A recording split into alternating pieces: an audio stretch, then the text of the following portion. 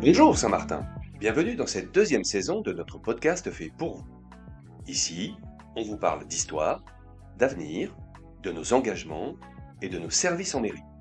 Une mine d'informations pour tout savoir sur Saint-Martin-Boulogne. Bonne écoute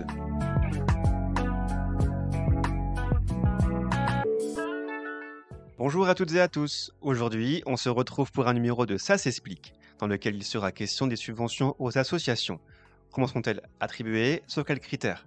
Pour en discuter, j'accueille Caroline Caron, adjointe chargée des finances, des marchés et de la politique de la ville. Bonjour. Bonjour à tous. La commune se compose d'un tissu associatif important avec une cinquantaine d'associations sportives et diverses. Pour que ces associations puissent pérenniser leurs activités et leurs manifestations au sein de la ville, ils peuvent prétendre à une subvention communale. Mais comment demander ce coup de pouce? Alors, toute demande de subvention doit être formalisée par écrit. Dans un souci d'équité, nous avons décidé de créer un dossier de demande de subvention. Alors, certes, c'est un dossier qui existait déjà dans d'autres communes et sur lequel Stéphanie Lacroix, notre déléguée aux subventions, s'est appuyée pour le créer. Mais il nous paraissait très important cette année de faire le point puisque les subventions sont quand même les deniers des Saint-Martinois et on voulait vérifier que les associations ne mettaient pas de côté ou autre. Donc il était indispensable pour nous de faire un dossier un petit peu plus complexe, certes, mais euh, sur lequel nous pouvions vraiment regarder, voir les recettes et les dépenses de chaque association afin de connaître les besoins réels de celle-ci. Quels documents sont à fournir? Les documents principaux sont surtout les statuts, le rapport d'activité et ou le budget prévisionnel. D'accord, donc toutes les associations peuvent prétendre à cette aide.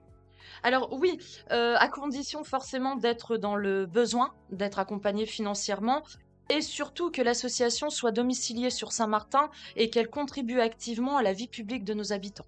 D'accord. Donc si j'ai une association, je remplis tous les critères des conditions d'attribution, mon dossier est complet et a été retourné au service concerné, comment la subvention est-elle validée? Alors, les dossiers sont à retirer en mairie avant le 19 janvier, afin que les demandes soient étudiées en amont pour voter l'attribution lors du conseil municipal euh, pour le budget primitif. Une fois votées, les subventions sont alors versées aux associations soit en une seule fois ou en versement échelonné. Pour info, ce sont presque 2 400 000 euros de distribués aux associations saint-martinoises, quand je parle d'association, j'y inclus également euh, Belle Idée, le CCS et euh, Brassens. Et ce sont près de 260 000 euros d'attribués aux associations sportives et culturelles, ce qui montre réellement notre souhait d'accompagner au mieux ces associations saint-martinoises. Les subventions sont versées pour une année, mais y a-t-il des exceptions? Alors oui, bien sûr, euh, il s'avère qu'il faut retirer un dossier par an en mairie, mais il est tout à fait possible à n'importe quel moment de l'année de faire une demande de subvention exceptionnelle si une association est dans le besoin et si celui-ci est justifié. À savoir que cette subvention peut être d'ordre pécunier, mais aussi matériel, c'est-à-dire que nous pouvons participer, aider une association par le prêt de salles ou encore de matériel. Cette subvention est de l'argent public, comme pour le budget communal. Y a-t-il un contrôle et il est réalisé par qui? Généralement, non, il n'y a pas de contrôle, mais comme je vous l'ai précisé juste avant, euh, nous avions fait un dossier euh, très détaillé euh, avec Stéphanie Lacroix, sur lequel nous pouvons demander des explications sur l'utilisation de la subvention lors de l'année précédente. Que se passe-t-il en, cas de manquement au règlement? Peut-il y avoir un refus? Alors oui, bien sûr, il peut y avoir un refus ou un retrait si l'association ne respecte pas son engagement d'être présente sur la commune ou euh, si encore si celle-ci ne présente pas de besoins financiers ou particuliers. Certains élus de la commune sont présidents d'associations sportives ou culturelles.